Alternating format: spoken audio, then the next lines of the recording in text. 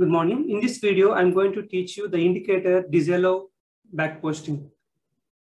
Come to MMRV transaction. Give your company code.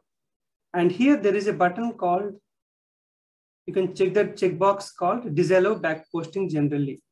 So if you flag this one, what happens whenever the periods are getting closed, new period is open with MMPV, system will not put this checkbox automatically. You can see the details also. Click on F1. See indicator, indicator that prevents posting to the previous period from being re-allowed automatically after a change of period. If this indicator is set, the indicator allow posting period to previous period is not set automatically during period closing. The companies which need, they never want to allow to previous period. You have to flag this and save it so that whenever the new period is getting opened in MMPV, system will not activate this button automatically. I hope it is helpful. Thanks for watching.